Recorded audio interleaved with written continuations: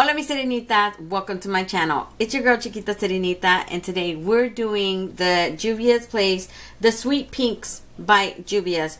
This is the mini series. You guys already know I just did the taupe one. This one is called the Sweet Pinks. I honestly started calling it the berries, but the berries like the original one from their first three that they released. I believe they had the nudes, the berries, and they had like another one, right? It was like three or four that they released. I can't remember right off the top of my head. But this is the last three, the most recent three that they just released. And these are the colors in here. These pinks didn't come to play, you guys. They are really overwhelmingly pigmented, like super pigmented. So much so, I don't know what to feel about this look I, I have on my face. Because it's like, ooh, man. Is there such a thing as too much pink? Like, I don't know. I'm liking it, but at the same time, I'm like, Oh man. I don't know. if you guys are wondering what I have on my lips, I have um, Too Faced Melted Matte liquid lipstick and this is in the color Bend and Snap. This is not one of their recent ones. This is one of like their original 16 or something like that that they released a long time ago. So it's definitely an oldie, but I thought that the color combination would complement, you know, have a pink lipstick to go with my pink look. I don't know. And if you guys are wondering why I don't have uh, eyeliner on, is because I plan to take off this look after I took a picture for Instagram. And then I'm going to start doing the review for the mauve one. So, yeah, I'm doing two videos in one day. So if you guys see this video and then the next time you see me doing the mauve video and I'm wearing the same shirt, same day, okay? don't be thinking I don't change and stuff like she nasty. Heck no, it's the same day.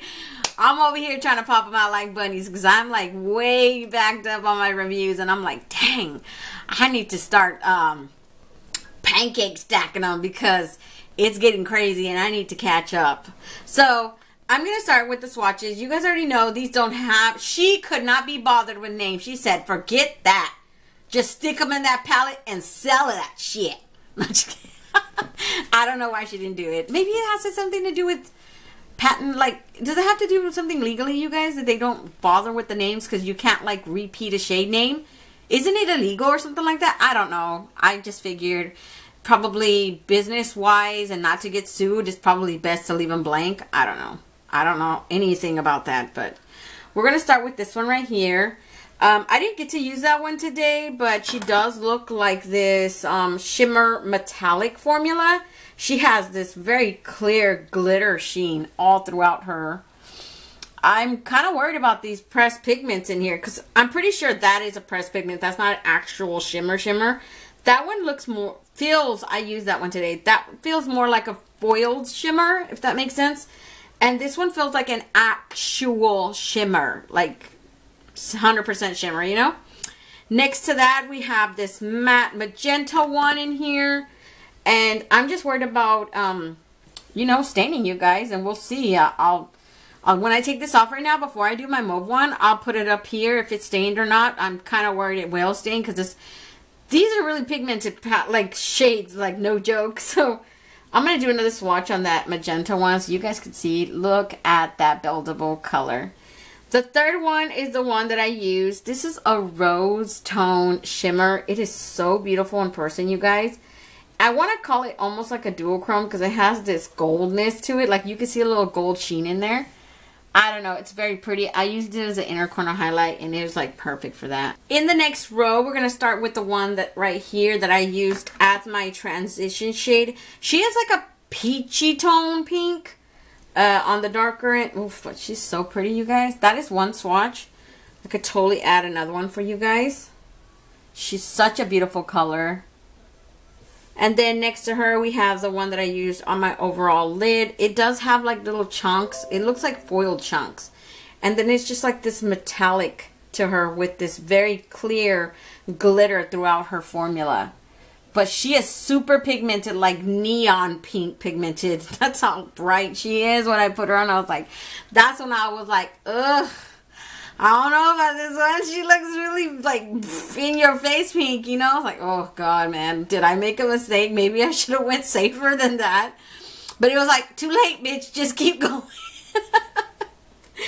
So the last one in here is like this super neon pink. Oh god. Like you there's just no escaping that one. Look at that one. That's just one swatch. Like I could totally give you guys another swatch, but she is super pigmented.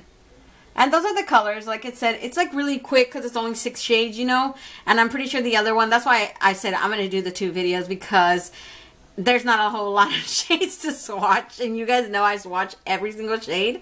So I knew it's not going to be that long anyways. So yeah, this hopefully is not really going to be, I don't, pretty sure it's not going to be a really long video compared to my other videos. But those are the swatches. And if you guys want to see how I created this look today, just stay tuned.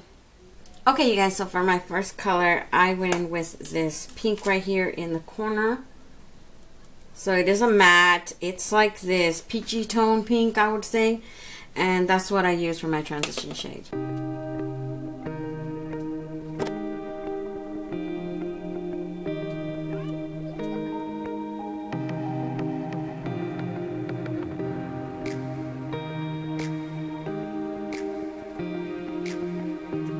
So for my next color, I went in with this shimmer down here.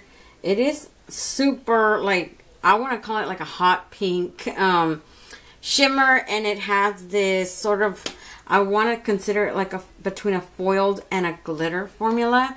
So you do have this possibility that it will flake off. And when it flakes off, it leaves a lot of like glittery hot pink residue on your cheeks. So definitely that's one that you want to do before your rest of your eye makeup or the rest of your face makeup in general because it spreads. It spreads like wildfire and there's just no getting rid of it after that. There's, it's just there now. So definitely, yeah. Do your eye look first with this palette and then do your the rest of your face makeup. But that's what I used, you guys.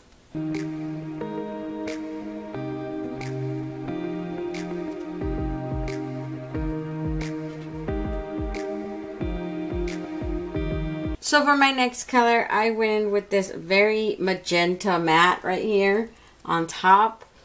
I just honestly patted it in right here and then all on my bottom lid and then a little bit across, just barely anything.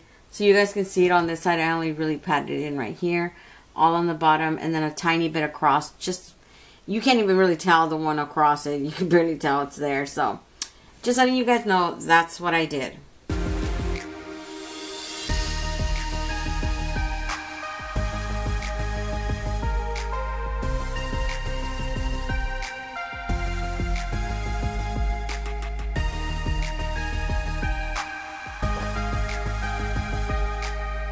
So for my inner corner highlight, I went in with this top rose.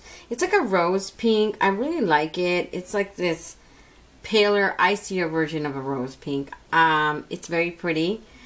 Honestly, if you wanted to go like a more softer look than what I went for today, you could totally go in with that first transition shade and then use that one that I used as an inner corner highlight. So you would normally go in with this one as a transition shade, this one probably as an overall lid, and then you could probably use a little bit of that one. Maybe that one if you use it in a softer way. And then just don't do anything on the bottom of your lid, right? Other than that, that's that's the one that I use for my inner corner highlight.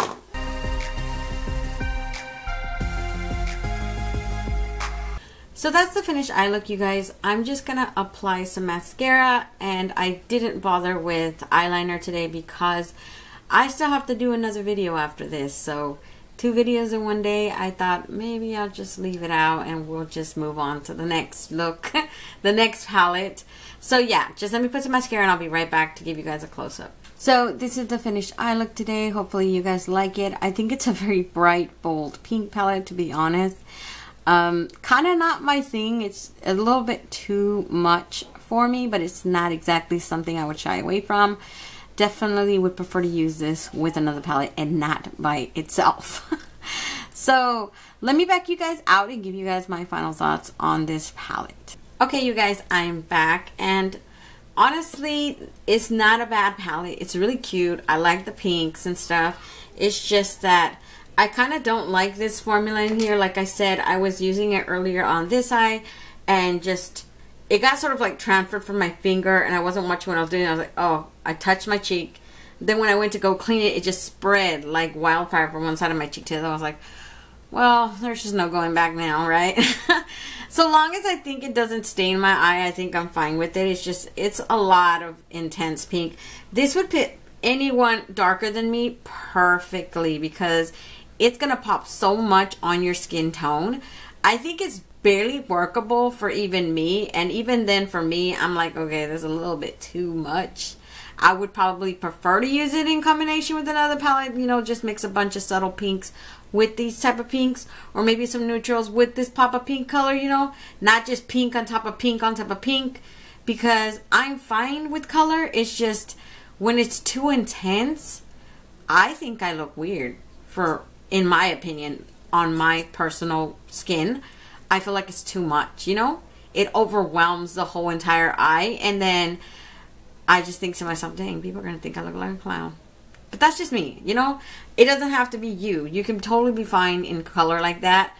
It's just for me, I would prefer to neutral, you know, transition shade and maybe just an overall pink like color and then maybe darken it up a bit with some dark brown or black and then just leave it like that. You know, I'd be fine with it like that. But other than that, like I said, it's a cute palette. Uh, I think it cost $14 that I remember. All of them cost $14. And I'm going to do the other one today. I'm going to do the last one of this series, which is the mauve, I think it is. That's the one I'm looking most forward to. Because I didn't really like the taupes. and this one is, is nice. It's just mauve purples are like, oof, God, I love those colors. So I'm going to leave this right here, you guys. Don't forget to comment, like, and subscribe, and hit that notification bell so you'll be notified each and every time I upload a new video. And until next time, stay warm, stay blessed, and stay magical. Bye, you guys.